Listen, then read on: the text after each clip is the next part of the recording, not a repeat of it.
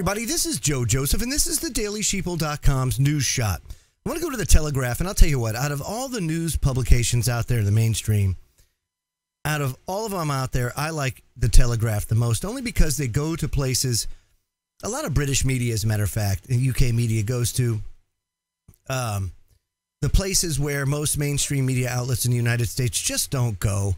And they make it headlines, and rightfully so, because look at folks, whether or not you think this is good or bad, and I think it's both good and bad, there are things that are coming that are going to dramatically change our way of life.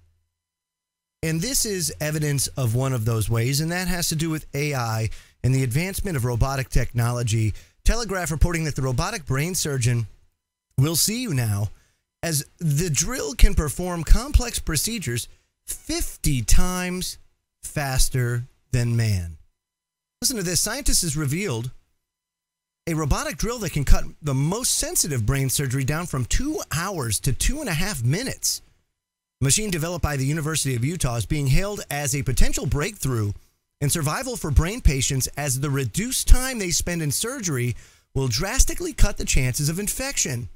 Researchers say that this can make one of the one type of complex cranial surgery 50 times faster than the standard procedure.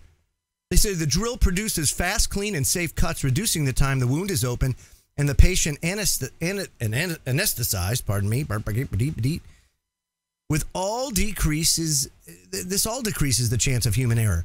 And look at folks, from, from the standpoint of human survivability, this is a great thing. You know, uh, a machine can probably do things much more safely, much more accurately. It doesn't, uh, as it gets older, get the shakes, if you will, you know? So if you want something that's probably slam dunk, okay, you know, you go with the go with the AI. The problem is as the AI learns, and it will, and the robotics adapt to the different procedures that need to be done, more and more doctors will now be phased out of medicine. And there's a problem with that because how do you teach, at least at this point, how do you teach AI empathy, especially human empathy? And that's where I have the draw because you're going to see more and more of this happen where, you know, and, and it's already happening in hospitals all across America, all across the globe, where doctors will take test results that have been ordered, feed them into a computer, and then the computer will uh, spit out a course of action and a diagnosis based on everything that you've put into it. And it's really taken the guesswork, I guess, out of um, out of being a doctor. But more so than that, you know, it also makes things very vanilla. And the problem is human beings are not vanilla. We're not all vanilla. We're unique individuals. That's where you need that human interface, the the ability to adapt and overcome to not seeing what you expect to see when you say open up a patient or when you read a set of test results. The ones that go out of parameters or, you know, out of line, tilt, tilt, all of that things that would cause the computer or cause the machine to not know what to do. Whereas human beings can kind of adapt on the fly. Now, we may not always be right, but we're not always wrong. And it's those times where we're wrong that we learn from our mistakes. Where AI right now is more concerned with learning by what's fed to it, its input. And human beings just don't work like that.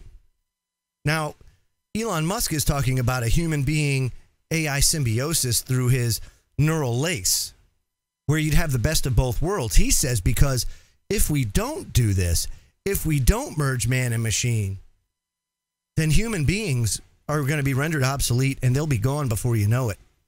We see the evidence now in the birth rates here across the, the especially the developed world, where the, the birth rates now have dropped well below 2.1 in some areas. And that's the minimum required to maintain your population. So there's a crisis afoot and nobody's paying attention to it. And AI, as helpful as it may be, is going to cause equal, if not more, hardship on humanity, and we're just not ready for it. I'm Joe Joseph. This was the thedailysheeple.com's news shot. Feel free to comment below and subscribe to our newsletter over at thedailysheeple.com. Have a great day, everybody.